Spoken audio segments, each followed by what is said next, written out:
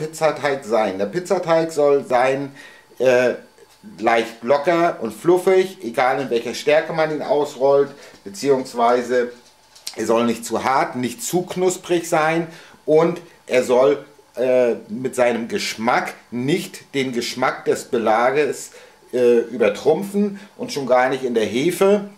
Und dazu haben wir jetzt, äh, habe ich dieses Rezept mal mehrfach schon ausprobiert.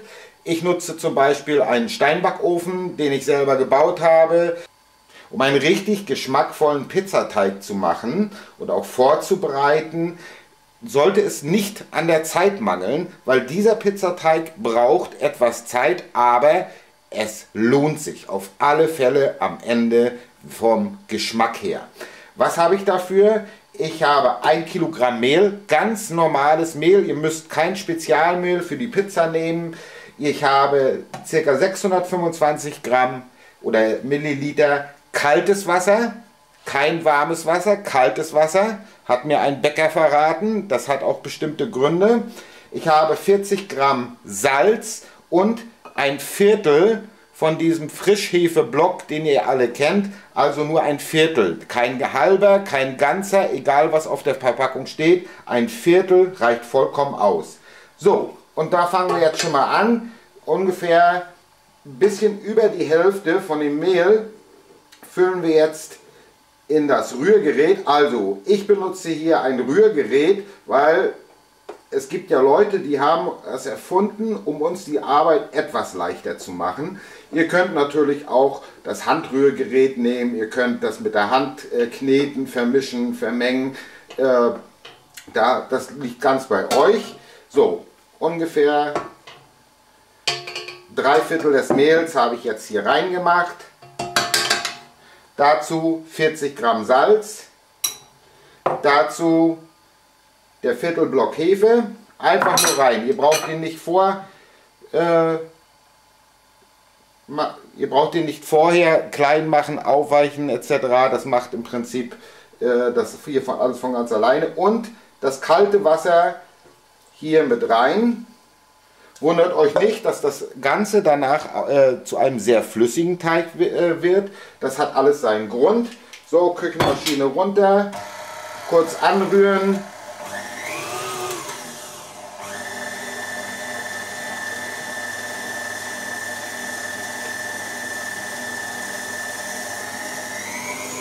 So, und jetzt lassen wir das circa 10 Minuten durchrühren. Warum? Weil die Feuchtigkeit, das Mehl nimmt die Feuchtigkeit auf, quält auf und dort beginnt schon der erste Prozess für den richtigen Teig. So, die Zeit ist rum, der Teig ist gerührt und wie ihr seht, ist er jetzt sehr flüssig. Das hat seinen Grund, das soll auch so bleiben. Was, das Ganze, was wir jetzt machen, ist, wir nehmen ein Küchentuch, decken die Schale ab und lassen ihn ganz einfach 15 bis 20 Minuten ruhen. Da passieren einige Stoffe, äh, Verbindungsstoffe im Pizzateig, die im Prinzip am Ende unter anderem für den äh, exzellenten Geschmack des Teiges verantwortlich sind. Nicht umsonst äh, schmeckt das Baguette in Paris, was dort immer noch handgemacht wird, komplett anders, als wenn ihr heute bei uns beim Supermarkt euch ein Baguette äh, holt, dort reinbeißt, schmeckt immer gleich. Das Pariser Baguette schmeckt anders. Warum? Weil das noch richtige Bäcker sind, förmlichen Rezepte halten. So, die 15 Minuten oder 20 Minuten sind jetzt um. Der Teig hatte genügend Zeit, etwas zu ruhen und schon etwas zu arbeiten. Was passiert jetzt? Jetzt kommt das restliche Mehl rein. Dazu benutze ich allerdings hier bei der Küchenmaschine den Knethaken. Der wird reingemacht.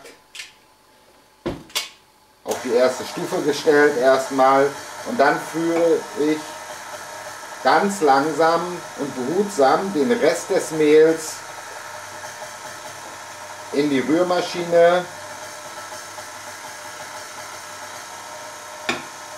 So dass er sich gut vermengen kann. Ach übrigens, die Frage nach dem Öl stellt sich hier nicht, Dieser Teig kommt ganz ohne Olivenöl aus. Und ich habe mich mit mehreren Pizzabäckern mal unterhalten und sie danach gefragt, nicht jeder äh, macht Öl hinein, aber dieser Teig ist jetzt etwas aufwendiger, aber wer nachher am Ende den Geschmack richtig spüren möchte und auf Genuss steht und es auch am Essen genießen möchte, muss etwas Zeit, äh, muss etwas Zeit mitbringen, bis der Teig natürlich fertig ist. Das ist einmal abends gemacht, ganz kurz.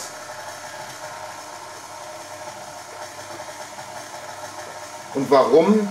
Das zeige ich euch. Also das ist kein schnell Huschi-Fuschi-Teig, sondern ein Teig, der am Ende richtig den Gaumen vor Vollzückung tanzen lässt.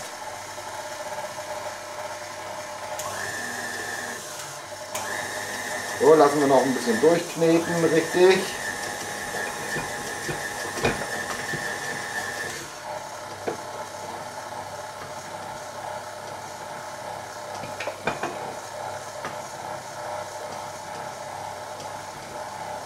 So, das restliche Mehl ist drin.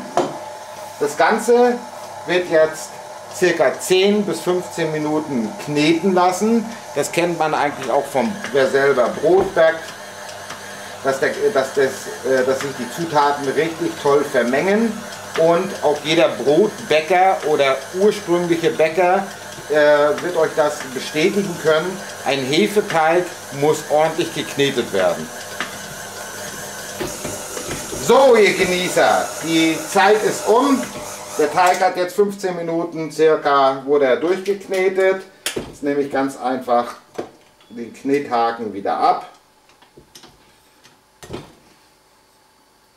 Rest des Teigs, was hier dran backt, bleibt drin. So. Und ihr seht, er ist jetzt schön durchgeknetet. Und was passiert jetzt mit dem Teig? Dieser Teig wird jetzt ganz einfach nochmal wieder abgedeckt mit dem Küchentuch und nochmal 15 Minuten ruhen lassen, 15 bis 20 Minuten ruhen lassen, äh, damit er sich setzen kann. Die ersten äh, Stoffe, die jetzt in dem Teig sich vermengt haben, miteinander harmonieren und ihr werdet wirklich am Ende belohnt mit dem richtigen Geschmack. Übrigens, äh, der Unterschied zwischen kaltem und warmem Wasser ist enorm. Das hatte mir ein Bäcker eben mal verraten, äh, weil das, je länger der Teig steht und arbeiten kann und hat wohl einen enormen Einfluss auf die Geschmacksbildung. So, die Zeit ist um. Tuch weg. Jetzt holen wir den Teig den Teig aus der Rührschüssel heraus. Ihr braucht den jetzt aber auch nicht mehr nochmal extra formen. Wer es möchte, kann es gerne tun. So. Ich nutze hier so eine ganz einfache Schüssel. Als nächstes, ganz wichtig, einmal Frischhaltefolie, Frischhaltefolie einpacken damit die Feuchtigkeit, die jetzt noch drin ist, in dem Teig auch drinnen bleibt. Zack. So, und was passiert jetzt? Und jetzt kommt im Prinzip eines der wichtigsten Teile. Dieser Teig wandert jetzt in den Kühlschrank. Braucht keine Angst zu haben, jeder von Oma und Opa weiß man natürlich, Hefeteig soll immer mit warmem Wasser gemacht werden, damit die Hefe äh, aufgeht, äh, dass der äh, warm Wasser oder äh, die Hefe vorher auch angerührt wird, ist in diesem Falle überhaupt nicht nötig. So wie er mit kaltem Wasser angerührt wurde, mit dem bisschen Hefe, kommt er jetzt für die nächsten drei, vier, fünf Tage, kann auch sechs Tage sein, in den Kühlschrank und ihr werdet sehen, wie der, wenn ihr dann zwischendurch mal den Kühlschrank aufmacht und mal reinschaut, wie der, wie der Teig arbeitet und aufgeht. Und dabei bilden sich entsprechend richtig tolle Geschmacksstoffe, was nachher am Ende in einer wohlschmeckenden Pizza äh, sich widerspiegelt und wenn ihr mal Besuch habt und serviert diese Pizza, glaubt mir, die Leute wollen gar nicht gehen und kommen immer wieder. Tschüss, bis zum nächsten Mal. Und für alle, die mir das nicht geglaubt haben, dass ein Hefeteig auch im Kühlschrank funktioniert, hier der Beweis, der Teig steht jetzt einen Tag lang im Kühlschrank und er hat sich schon um das anderthalbfache vergrößert. So bleibt er jetzt die nächsten zwei, drei Tage noch drin. Entwickelt richtig gute Aromastoffe für eine wohlschmeckende Pizza, die sich definitiv unterscheidet von dem, was ihr aus der Kühltruhe äh, kennt, beziehungsweise aus dem Fastfood-Bereich. Dort werden schnell, schnell Pizzaböden hergestellt. Macht es selber, probiert es einfach mal aus. Viel Spaß und guten Appetit dabei.